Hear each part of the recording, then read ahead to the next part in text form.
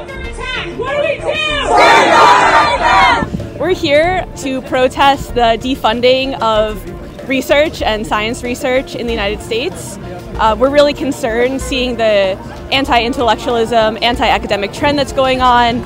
It is unfair what they are doing to scientists throughout this country. Scientists have built the foundation for many cures, vaccines over the past hundred years. It's uh, absolutely devastating what is happening to science in the US. We were lucky to survive a pandemic through NIH funded science and um, I, I, really hope people realize what's at stake here. All very concerned about the trend of people not believing in science that has a lot of evidence backing it.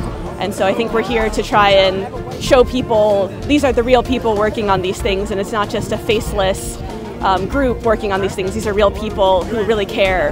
And now we are seeing what happens when misinformation is in the, in the Oval Office and what that means for us Americans.